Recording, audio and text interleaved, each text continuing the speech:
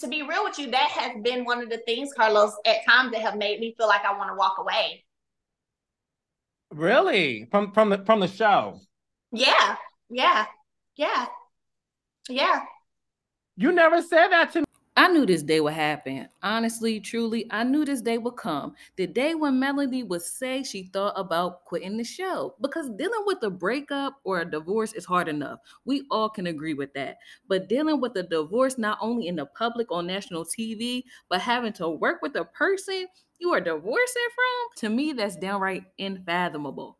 I hope I said that word right. But yes, you know what I mean. Like that just could be a lot on anybody's emotional, mental, even physical health to have to deal with this person that you see every day that's the cause for your pain but also have to work with them because you know for the regular everyday person you can go to work to kind of get away from home life but dang when home life and work intermingle that just has to be a lot and people would say things like well Mel should you know, go ahead and do it, go on with the show. Like it's for money. I would do it for my ex. But at the same time, how much money are you willing to receive or get at the expense of your mental health?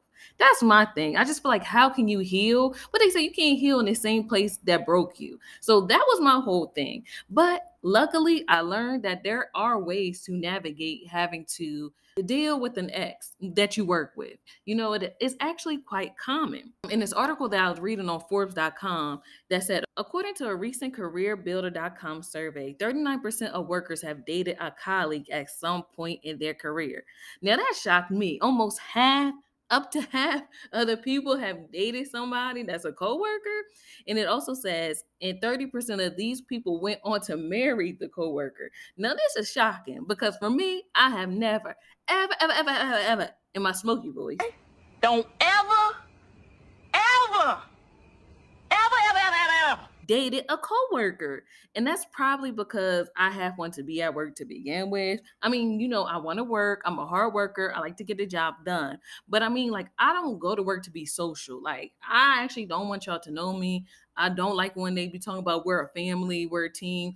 Um, no, we're not. We're all here to kind of get a paycheck. Now, some people are here to mix and mingle in a jingly beat, but that's not me. Like I be trying to go back home because that's where my stuff is. Remember that for um Good Burger when Monique said that when Dexter tried to like ask her out. I'm that kind of person. Like, no, I don't. I don't want to go to the work happy hours. But you know, you kind of have to do that nowadays because then you don't want to be seen as one of those people that don't care. But yeah, so I was just kind of shocked at those statistics. But what about you guys? Am I the only one out there that has not dated a coworker? Like, am I just kind of outdated or something? Have you guys ever dated a coworker? Are y'all part of that 39%? Let me know. Drop down in the comments. But honestly, like I said, I could definitely understand how it could be challenging dating or I can understand how it could be challenging going through a divorce with the person that you're divorcing on national TV and that's technically quote unquote your coworker. But as Carlos had explained, Melody and the rest of the cast don't have to do anything that they totally feel uncomfortable with doing or shooting scenes that just are going to bring them more stress than what's necessary. We make sure that you you are in a position to where no one's telling you what to do or where to be if you don't want to be there because because at so I just kind of wanted to do this video because I did learn that you can successfully navigate working with an ex in the workplace. I had no idea. You know me, I'm always ready to quit a job. So I thought that was going to be the answer. Like, if you just broke up with somebody, you need to find another job. But surprisingly, I didn't come across that. And I found some tips that I feel like will not only help people that um are working with somebody that they dated that that's now an ex, it also can help like your everyday person, whether you're single, married, on how to basically navigate the workforce, even when you're in like an unpleasant, uncomfortable situation. So here's the first tip. Focus on your career. Now, this is helpful to whether you are in a relationship or not, whether you're recently divorced, going through a breakup or not. When you are at work, focus on your career.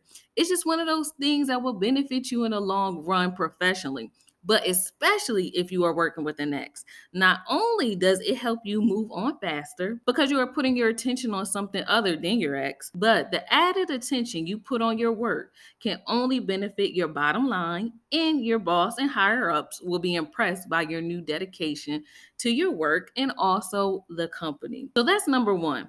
Focus on your career when working with an ex. And that's exactly what Melody did, as we can see. With her having this platform on Love and Marriage Huntsville, she's been able to leverage that into a singing career, as well as have her own skincare line, as well as dibbling, dabbling, and hosting and acting. Like this girl does it all. And even with all that on her plate, she's a mom, you know, of four beautiful children. So she has plenty to keep her mind occupied um, on her future, the things that she wants to do for herself, instead of the ending of her marriage with Martell, which is now in her past. So that's number one. Focus on your career while at work, and especially if you have to work with an ex. Number two, stay professional. Easier said than done, I know.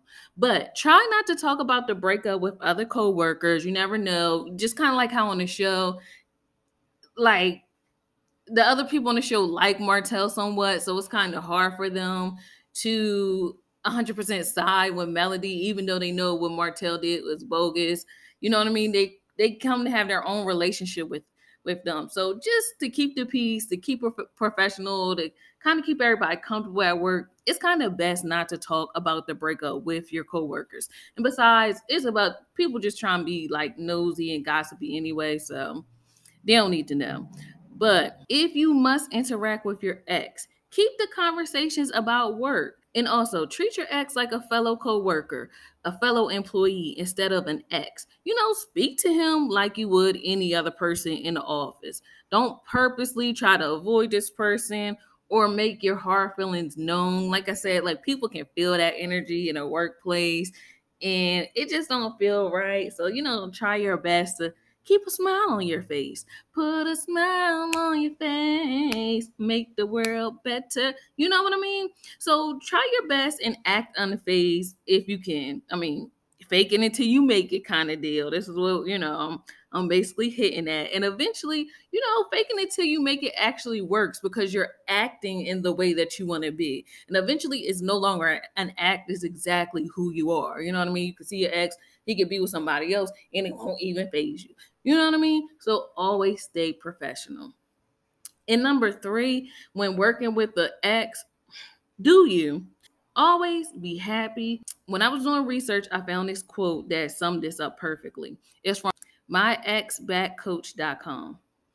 And it says, one of the most attractive, if not the most attractive position to be in, is where you have such a great life full of friends, potential, success, joy, optimism, fun, peace, and strength that your ex breaking up with you didn't destroy you or rattle your core. Not that you care about being attractive to your ex, but it's the time, but after a breakup, it's the time to focus on being more attractive for you. And there is nothing more attractive than going up in all areas of your life and being better than what you were before when you even met this person. How about that? You know? But seriously, even though, you know, a breakup hurts, I get it. I understand. I've been there. We all probably been there. But focusing on the things that you enjoyed before the breakup is a great way to get back on your feet. It's a great way to get back to the person that you were and making that person like a 2.0 version of yourself.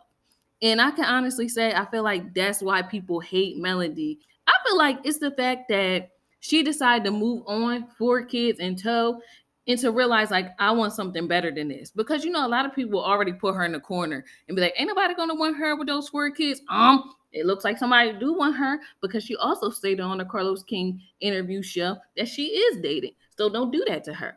Um, am I dating someone right now? I am.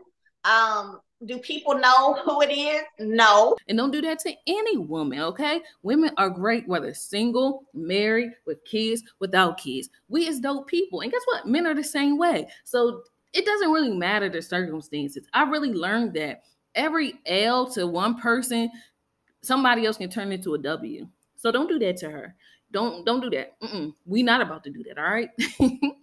so I really feel as though that that's why people be mad because Mel, when God said go, Mel left. And you can't hate on that. You know what I mean? People should always be striving to live a better life for themselves and the people that they love and the people around them. You know what I mean? So if they need to go and do something else, I feel like we should congratulate them. We should be happy for them, not trying to keep them stuck. And sometimes I feel like that be going on in the show. So don't be hating on her.